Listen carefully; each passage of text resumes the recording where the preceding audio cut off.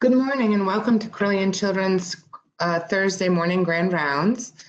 This is Dr. Henschel. It is my distinct pleasure to introduce today our speaker, who is Dr. Ryan Fulton. Dr. Fulton is a graduate of the Edward Via College of Osteopathic Medicine in 2013. We were fortunate enough to have him join our faculty in 2016 when he graduated from his residency, and he practices uh, pediatric medicine in Daleville, Virginia. He is currently faculty at the Virginia Tech Carilion School of Medicine, as well as VCOM. Dr. Fulton is the co-director of quality improvement for the pediatric residency, as well as an advisor for the advocacy rotation. he has absolutely practiced his passion for quality and advocacy since his resident years and has developed a strong quality improvement curriculum, including all of the residents. He has also worked as an advisor um, for individual residents and has been a mentor for the pediatric interest group at Virginia Tech Carilion School of Medicine. He has been a true asset to the faculty here at Carilion. And also regionally, he is the American Academy of Pediatrics representative for Southwest Virginia. And nationally, he serves as a, a national faculty on the Board of Osteopathic Medical Examiners. It is with pleasure that I introduce you to Dr. Ryan Fulton for this great grand rounds. Hello, thank you, Dr. Henschel, for that introduction. Uh, and so we're going to get started here. Uh, I have a just a real brief uh, presentation on kind of the introductions of quality improvement and how every one of us can kind of use quality improvement in our everyday practice. Uh, this is going to be very basic, so if anyone's done any quality, this may be too basic, but I wanted to kind of get a, kind of everyone to dip their foot in the water here and see if they could understand and, and move forward with it. So first things first, so I have no financial disclosures. Uh, I also want to disclose that I'm not a, a, a super expert in quality. The reason I'm giving you this presentation today is because I know what it's like to work full time in an office and do a large national quality improvement project with lots of different pieces involved. So I, I, hope to kind of be a mentor for everyone as we move forward in this and know that you can do it and it's definitely a possibility to to get through these quality projects even though they seem daunting. So our objectives today, we're going to acquire an understanding of what quality improvement is. We're going to apply QI principles to everyday work. We're also going to recognize what QI work has already been done uh, within the residency, and we're also going to see the future of QI here at Carilion Children's. So first, what is it? What is quality improvement? A formal and systematic data guided approach to continuously improving healthcare and patient outcomes. So it's a formal definition of what QI is, but why do we do it? So QI uh, primarily is going to help outcomes and experience of our patients. That's our overarching number one goal. Uh, the secondary goal is, as we know, the American Board of Pediatrics requires some continuing education on the topic of quality improvement. Uh, quality improvement work can also be a means to bring teams together uh, that practice differently. And finally, you can use QI to improve the flow of the system. We've all experienced system flow issues, and quality improvement is a mechanism uh, of which we can use to improve that flow within the system. So how do we go about doing or performing quality improvement? First, you have to develop your question. Then you have to create your team and then finally execute your change. So first we want to talk about how to develop a, a project. There are many different tools, as you can see in the above images, that uh, different quality improvement projects utilize to get from point A to point B. We'll be focusing primarily on the first bullet, the model for improvement. Uh, that's also your first picture on the left-hand side of the screen.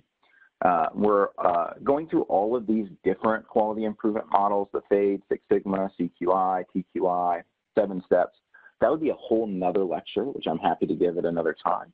Um, but it would be very time consuming. So we're going to focus on the model for improvement. So how do we execute the model for improvement? So there's three questions. First, what are we trying to accomplish? Um, we establish what we're trying to accomplish with most of the time we use an aim statement. So this is how good do we want to get and by when? And we're going to go into the details of the aim statement here shortly, but that's kind of your first question that you want to ask. Next, the changes. So what change can we make that will result in improvement? Sometimes you already have an idea of what the change is, so you don't have to necessarily go in order, but these three questions are primary in what you want to ask uh, before you go into the study. Next, you have measures. How will we know a change is an improvement? What are we going to measure? And we'll talk about each of these specifically. Then, once you have those three questions answered, you want to move on to what's called Plan, Do, Study, Act cycles or PDSA cycles. This enables a rapid testing and learning process and allows for inc incremental testing of change. So first, we want to develop our aim statement. The aim statement, again, helps to understand what we were trying to improve. The important thing to utilize is a SMART aim statement. So SMART is our, uh, our acronym that we use here, and we're going to break it down. So you want to be specific. You want to be very specific or as specific as you can be about the improvement that you are trying to accomplish. What, uh, what is this specific improvement? And then uh, you want to make the statement quantifiable, so measurable. How will we know we reached our goal? And we don't want to get uh, next, the next bullet, achievable. Uh, is it a possible goal? So um, do you know that it's a possible outcome? Is it definitely something that your practice or your group can perform? Um, don't we don't want to get too crazy with it, but we want to make sure that it will make an impact. And that goes into the next bullet, which is relevant. Does this goal really matter? Obviously, when you started your thought process for the project, you thought the goal mattered. But once you start to um, unravel it a bit more, is it going to truly impact your practice? And then we want to make sure that our goal is time bound.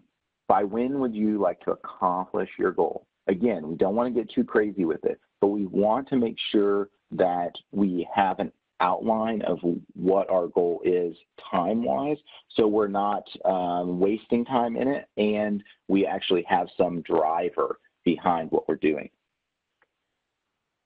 Okay, so when you develop your SMART aim, uh, uh, the aim on the left-hand side, this is I call, what I call your running for office statement. So you want to improve vaccination rates of HPV throughout the hospital system. It's all pretty and nice and simple um, when you say it, but it means very little when you don't have quantifiable goals. So if you look at your right-hand side, this is what a SMART aim example would be. So we want to improve completion rates of HPV vaccine series for children nine years and older by 50% over the next six months. So we're specific, we're measurable, we're achievable, it's relevant to our practice, and we put a time binding on it for six months. So that is what our goal for a SMART aim would look like. So you got your aim. Now we need to build our team. So we have to identify leadership. Uh, and so leadership will give you pull and provides authority and guidance to the system. In this scenario, a chair or a senior leadership perspective would be uh, a good person to have on your team because they can sway things in certain directions. The next person you want to identify is a champion. Your champion will be the primary contact person and leader of the project. So this is likely to be you if you, this is your project. And then there's QI experts like myself that will help you get through the technical aspects of the project. Um, myself, Dr. Bektani, and the team of uh, our QI team within the residency, uh, which we'll talk about shortly, uh, is going to be a great asset to all of you when you go down the road to develop these projects. So your team should also include everyone that's involved. So you want to reach out. You want to reach out to residents, nurses, medical students, front staff, administration, and particularly parents. So all you want to reach out to everyone that's going to have a hand in this project. So if it's in your office, the front staff greets the patient, the nurses room the patient, you're going to see the patient, the medical students, the everyone that's involved that has a hand in this um, should be involved, uh, should be included in your initial team building. Now, uh, parents are a big part uh, of what has been included in QI, and we'll talk about that here shortly. Uh, next, you want to develop roles. So your team, just like in a code situation, it's important to develop roles early so everyone knows their objectives within the team. And then finally, you want to cultivate that QI culture. This type of team development will help to cultivate uh, the culture as it shows that change is made as a group with many voices rather than the ideas of those on top or in senior leadership. So here's our example. Improve completion rates of HPV vaccine series for children nine years and older by 50% over the next six months. So who do we want to have involved? Um, we want to involve registration because the patient is going to come in and they're going to meet the registration. There's going to be posters up uh, at registration for our HPV project and what HPV means and all that stuff is happening in the waiting room, assuming that we are using our waiting rooms. Um, and then the next step, we want to involve nursing. Uh, there's been lots of studies that look at nursing and how it, how the nurses affect patient interaction. Uh, a lot of those studies focus on the race of the nurse or the religion of the nurse and how it relates to the patient or the patient's family, and how those nursing relationships are actually very impactful for the decisions that the patient or their or their family makes about their care. So if you have a nurse that is supportive of the project, that is only going to further the movement of the project. Finally, we want to make sure all of the physicians um, and ACPs are included um, in the team as well, because they're going to be on the front line of uh, talking to the patient and um, and discussing the HPV vaccine. Finally, as we mentioned before, parents are becoming a large part of quality work within pediatrics. This gives a different perspective on projects and allows those key players to give their input. So in our example here, when we're improving HPV rates, the goal parent to be involved would be a parent that originally didn't want to vaccinate and then was converted to a vaccinating parent. Um, you can also include parents that don't like to vaccinate and parents that do like to vaccinate, um, but it would make meetings uh, tremendously longer. So you want to find someone who's had a conversion so that way they can address some of those parent uh, barriers and you can better move forward with your project. Okay, now we're going to talk about measures.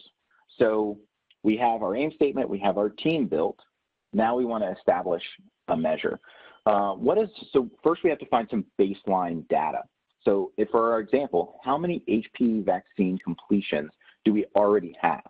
Um, so we want to kind of dig in Epic or, or whatever uh, system you're using and utilize what our baseline data is because we have to go from A to B. We need to know what A looks like. Next, we have to identify some gaps. This is a bit more challenging in the process. This could be knowledge gaps, educational gaps, uh, gaps in published literature, gaps in data from baseline collection. Not all gaps will be identified at this time and will likely uh, be identified throughout the project as you move, but you want to try to identify as many gaps as you can this early point, at this early point. Once we have our baseline data uh, and we want to establish a trend, so as it relates to the HPV example, uh, are there trends provider dependent? Uh, are they population dependent? Are they insurance dependent, et cetera? So you want to see what kind of trends already exist in your data.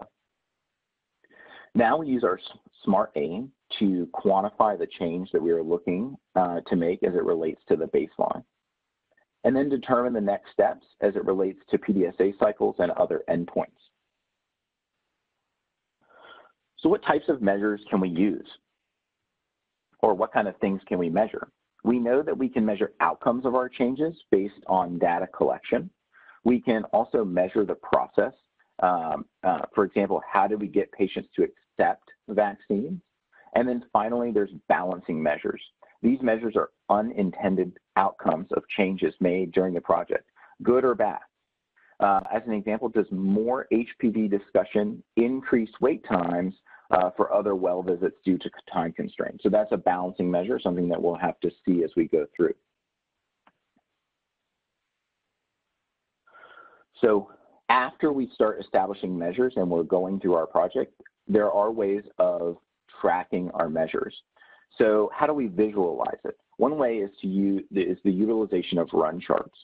Here's an example from our national QI, uh, Project iScreen, on screening patients for social determinants of health. This is one run chart of about, let's see, there was nine run charts that we ran for this project. Um, and at the top, you'll see the goal. Uh, so our goal was 90% screeners, screening. And then uh, three practices are represented by the colored trend line. And then the teal was all 20 practices across the US that were associated with the project and the trend across those. Some unique things to point out uh, are that they're uh, important about run charts is you when you utilize run charts, you want to make sure you identify certain points along the time uh, cycle. So we initiated the hunger vital signs screening uh, at cycle nine. And so this is important because if someone who doesn't know is looking at your run chart, they look it looks like you've done nothing for nine cycles, um, and then it went up. So you want to be able to look at it and see why it went up. And then at the top, you'll see um, at cycle 13, that was the end of our project, but we continued to track data. Um, and we'll talk a little bit more about the dip there in a few minutes uh, and why that's important. So how do we make a change? Critical thinking uh, is an important part of making the change. Flowcharts can help visualize the system-wide impact of change. These can be uh, uh, fishbone diagrams or different types of diagrams that are utilized when you're looking at flow of a process. You want to break down a complex process into smaller steps and identify barriers that you may have along the way. So uh, in our HPV example, you want to say, okay, the nurse talks about the vaccine, and then the doctor talks about the vaccine, and then the paperwork is given. So all of this processes, you can identify at each point where there would be a barrier along the way. So then you can address the barrier, or your team can help identify scripting to address the barrier prior to it actually happening. Finally, our next benchmarking, how will your change compare to what is considered best practice? So you want to make sure that you're not reducing um, the practice that's going on and that you meet or exceed what's best practice, what's considered best practice uh, for your particular uh, topic. And then how can we utilize technology to help make this change?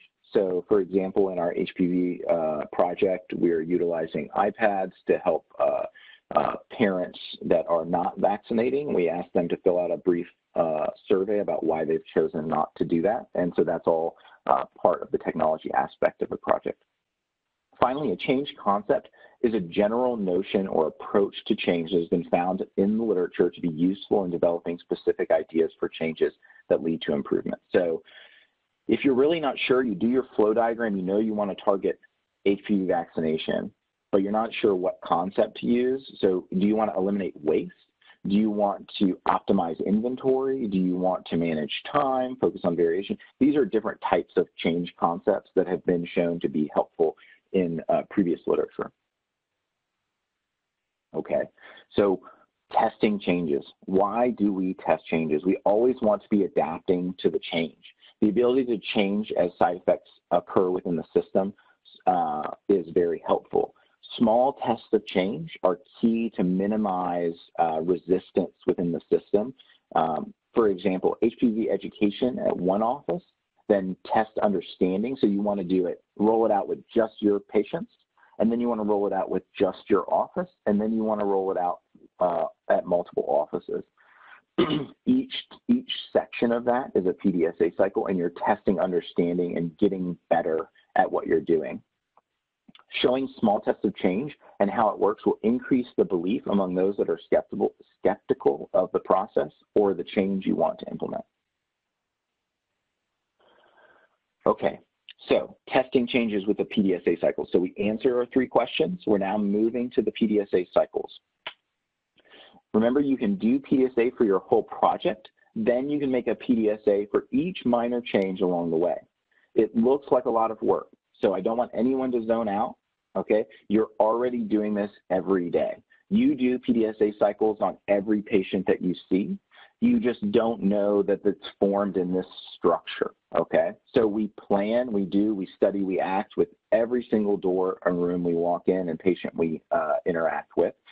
So first you want to plan. You want to set your aims, your measures, your ideas. Uh, you want to question and predict what may happen.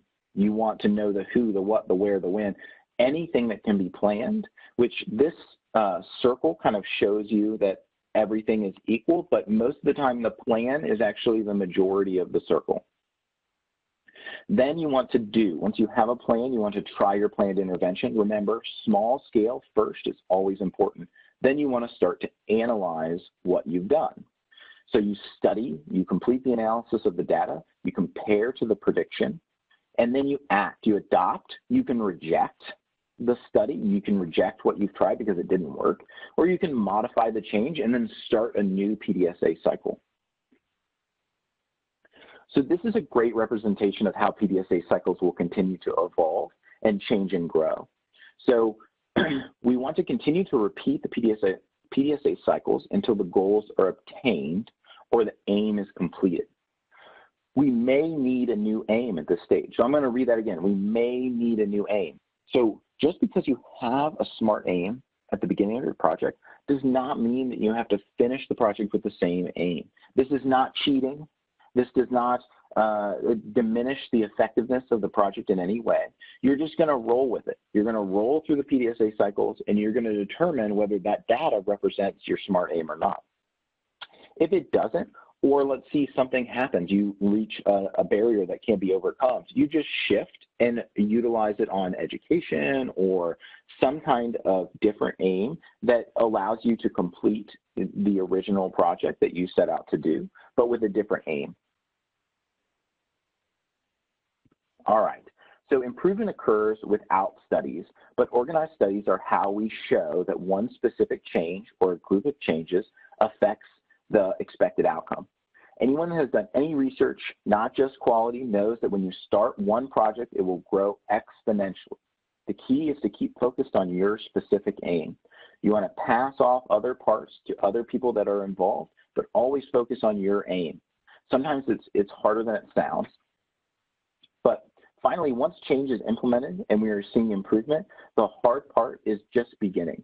Any new change has to be followed and made sure it is sustained. So we're going to jump back to slide 15 here. Um, at the end of the project, you'll notice that most of the practices dropped off in collection of social determinants of health screening uh, or documentation of social determinants of health. And that wasn't just seen within our offices, that was seen on a national level with all 20 practices on that TO line. So this is why it's important to sustain change when I was in the, well, when we were doing that project, I was having meetings with each individual practice monthly. And then the meetings uh, reduced after the end of the project to every three months. Um, that reduction, uh, I didn't have uh, monthly meetings uh, to remind everyone to document the change and all this. And it, it people lapse, people get fall back into old habits. Things happen. And so uh, sustaining the change is an important part of QI. So is change easy? Obviously, never easy. It's very easy to be overwhelmed by change, but through the steps of QI, it makes it easier to follow a thought and a project to the end. There will be resistance to change. Sometimes individuals are threatened by change, and then once completed, as we discussed, there is a tendency to fall into old habits. So because change is hard, sometimes we have to address the emotional side of things. There is stress with learning new things. There will be disruption to workflow. It is important to listen to the concerns and identify barriers. So when we're having individual meetings with our team, it's important for everyone to try to speak about the barriers that they're feeling. Whether these are barriers that everyone feels or just one person feels, it's important to try to address those barriers to move forward with the project and improve buy-in from the participants. Uh, these different identification or uh, identified barriers can be um, I, uh, worked through through PDSA cycles of their own. You can have multiple PDSA cycles running at one time uh, throughout your project. okay, so permanent change. How do we get permanent change within a project? So we have to market the change. We have to train all everyone that's involved. We have to add change into job descriptions, policies, and procedures so that it's sustainable and impactful to the whole group, even after the project is gone. We have to assign day-to-day -day ownership of new processes. And then we also utilize our senior leadership to remove barriers that are out of our uh, or beyond our depth. Okay, so that's the basics of QI. Now, I want to talk about quality improvement at Carilion Children's. So, Dr. Bektani and I have been hard at work creating a QI curriculum for the residency. The curriculum was implemented last year, and the current third years were the first class to participate in the capstone project. So all pediatric residents are now required to complete a QI project during their time in our residency program. The first year focuses on QI basics through a program called EQIPP. These, this way, the residents, the interns will get, uh, will be able to see kind of the things that we've already talked about throughout this presentation. And they'll be able to run a small QI project on their own patient base in their continuity clinic. The second and third years complete their capstone project. The resident will select a physician champion to help lead the project. They assemble their own team, nurses, medical students, administrators, etc. Uh, and then in the winter of their third year, so they start in their second year, and then they move through the capstone project, and then the winter of their third year, uh, which will happen on December 10th this year, um, we will have a QI, a resident QI grand rounds, and we'll kind of have a little abstract presentation of each of the individual projects that have been completed that year. In spring of their third year, they will submit the, and present at the Carilion Research Day. And we hope to encourage the residents to apply and present at regional as well as national levels uh, in addition to the Carilion Research Day. And then after the spring of their third year, um, if they have you know nothing going on with looking for jobs and things like that, uh, they have opportunities for manuscript completion prior to graduation. So here's an introduction to our team. So myself and Dr. Bektani are co-directors of the team. We have uh, lots of different parts uh, along the way. We have uh, Matthew Suckup, which is our grant application and money management along with our team. And then we have Rita McCandles, who's our literature resource person, uh, Kelly Hurt, QI background and IRB assistants, Sherry Wicker and Mariah Rudd are helping with education and study design as well as poster development. Dr. Jaimez is our clinic epidemiologist as, well, as long, along with study quality and design. And then we have our Carilion Health Analytics research team who deals with analytics and uh, stat, uh, stats management. so the physician champions, they're an integral part in the success of these projects. The benefits to the champion include support a supported research opportunity. So if you have a project that you think you want to do and you can interest a resident in um, going along with the project, they can support, this program can support your research. There's also CME or MOC potential. So we all have to get CME and MOC, but it's actually a little bit easier uh, to to get this uh, than you may think.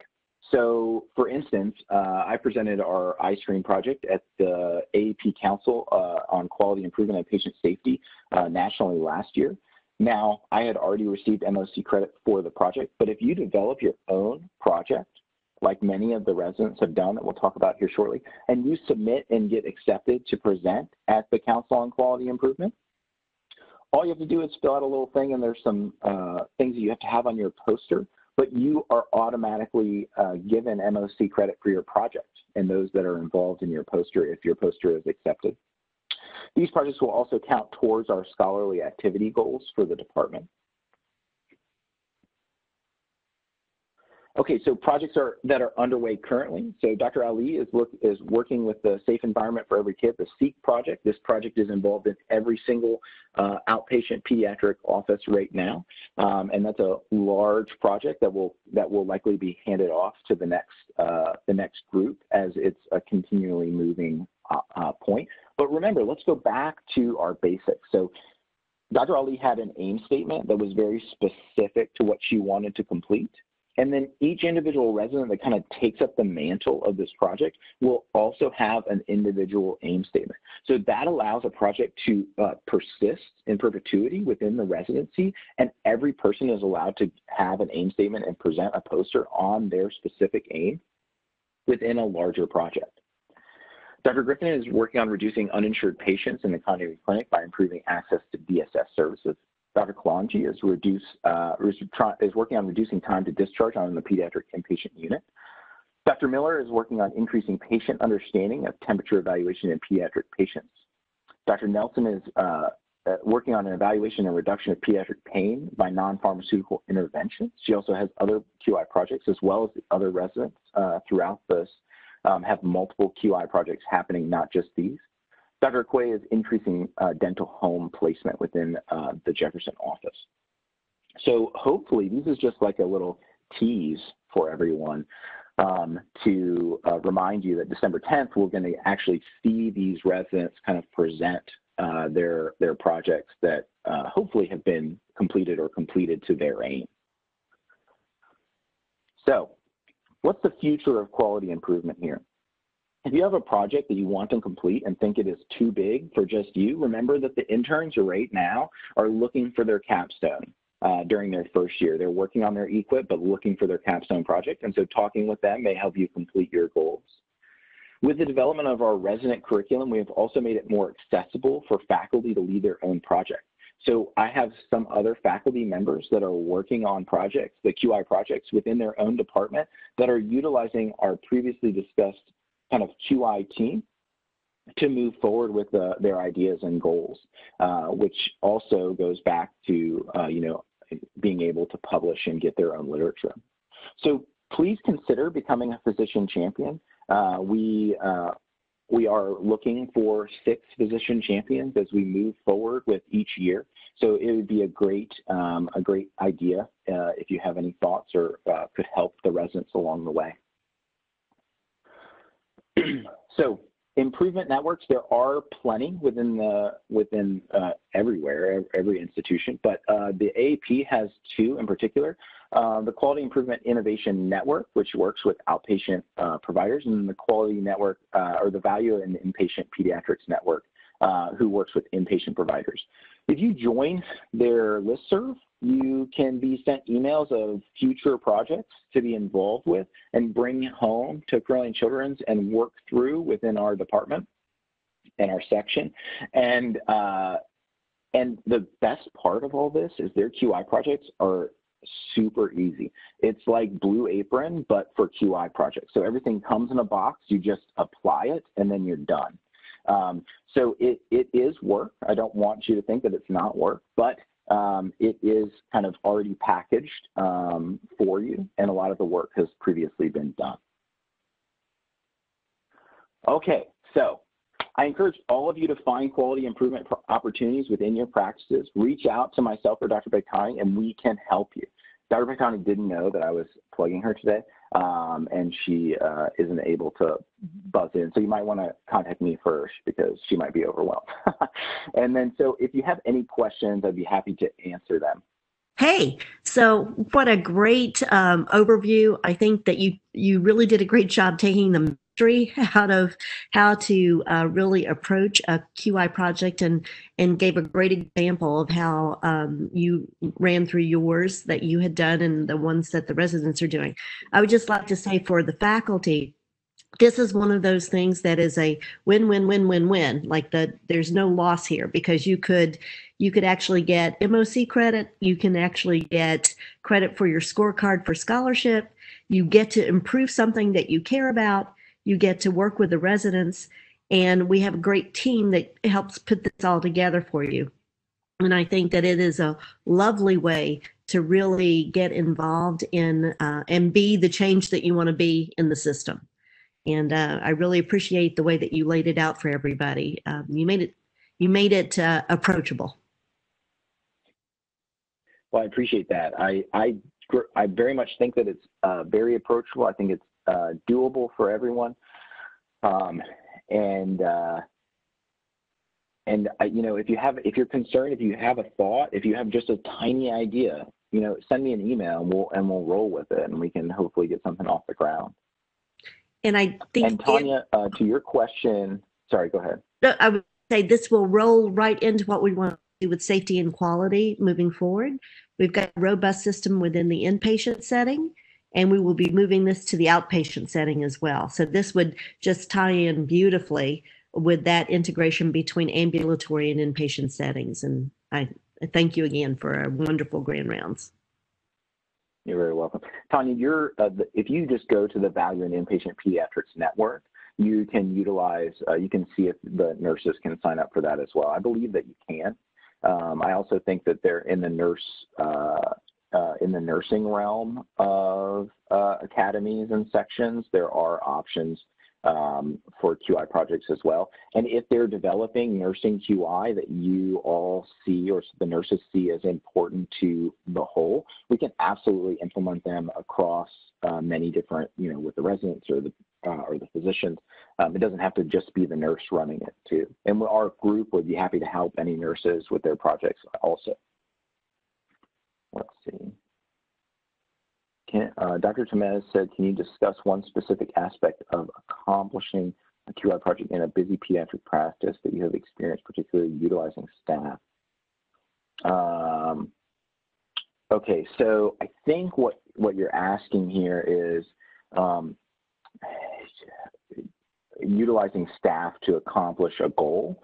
So uh, are you able, so for instance, with our iScreen project, we had our um, uh, our, our lead nurse, um, our CTL, was uh, an integral part of that project. And she was involved in collecting uh, the screeners and uh, entering data. And, um, and so she played a key part along with myself um, uh, and, and, and Dr. Henschel in kind of utilizing all of that process to getting it done. Uh, another way to answer your question would be um, so uh, uh, utilizing staff. So our front staff, when we worked on iScreen, were, were the people that are handing out the ASQs and the M-CHATs and things like that, and they're saying, please complete this. Um, it's important for uh, your child's development. We wrote some scripting if they had any questions, if the parents had any questions. They, they, the front staff had scripting available to them uh, to better answer um, those questions. And so I think that that's kind of what you're asking. Um, it is hard in a busy practice um, to get all of these team members together in one place uh, when we already have a bunch of meetings. Obviously, um, these big projects were done pre-COVID where we're not already having lots of meetings or we can't meet. Um, so it does limit, uh, you know, our current situation does limit a little bit, but having virtual meetings like this one uh, is very simple and may be uh, actually easier than getting everyone in a room. So if you're interested in being a physician champion or you have any other QI questions for me, uh, just shoot me an email. And uh, I appreciate everyone coming and participating. Um, Dr. Smith said, yes, asking nurses to perform one more task can be hard and involving their interest probably helps, but they can be time constrained. Okay, I see what you're saying. So involving nurses. Yeah, so we ran across that with the iScreen project as well um, in our offices that um, the nurses are already doing a lot. So what we try to utilize is the front staff and handing them out. And instead of the nurse collecting them, really what we what we wanted was we, we produced some scripting for the nurses to say, hey, those screeners are really important for us to know how your kid is doing. So they're not adding anything necessarily, but we had scripting in place. That way, um, they could uh, answer the questions that needed to be, or that if they were asked, they could answer those questions. Um, and so less of a, a role in all of that, but then that way, when we had our team meetings, we the nurses would come and say, "Hey, the the the parents are asking these questions and then we did another PDSA cycle about how to address different concerns and questions, and then we developed scripting. So yes, it is very difficult um, on the nurses, on the front staff, on the physicians, uh, the ACPs. Everybody is time constrained, right? So adding something more is always a challenge. However, what we what I've found is that most of the time when you're looking at doing a quality project, sometimes not, but most of the time when you're looking at quality projects, all of the quality initiatives and your aim statements, especially with the resident group, that they've developed great aim statements as they've gone through. These are not we want to change the world today aim statements. These are we think every patient should have a dentist. These are these are basic things. So it's easier to buy to get people, nurses, front staff, every uh, other physicians to buy in if you make it such a straightforward thing. Like we think that everyone should have a dental home. We think everyone should have uh, a, a uh, access to medical care with Dr. Griffin's project. We think every every kid should understand what their pain is like to look at Dr. Nelson's project. So it, there are barriers that you have to address with time constraints. But if you make your project so easy that you're, a lot of people are like, oh, yeah, we should definitely do that. And a lot of times people don't know.